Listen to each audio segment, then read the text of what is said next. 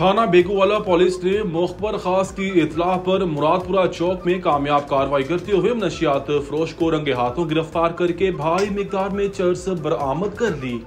मियाँ मोहम्मद वसलीम की रिपोर्ट के मुताबिक मुकामी पुलिस को इतला मिली थी कि राहिल, अहमद वल्द मोहम्मद, रियाज, जो कि टांगों से माजूर है और इसी माजूरी का फ़ायदा उठाकर अरसादराज से इलाका में सरेआम नशियात फरोशी करके नौजवान नस्ल को बर्बाद कर रहा है। जिस पर एस एच ओ सब इंस्पेक्टर आना सलाहुद्दीन ने पुलिस पार्टी तश्कील दी, जिसमें sub inspector Sikandar Hayat, constable Mustansar Hussain, Mohammad Yunus और ड्राइवर मोहम्मद अमीन के ज़रिए कामयाब रेड करके राहिल अहमद को रंगे हाथों गिरफ़्तार करके मुलिम से पंद्रह सौ अस्सी ग्राम चर्च मौका पर बरामद करके,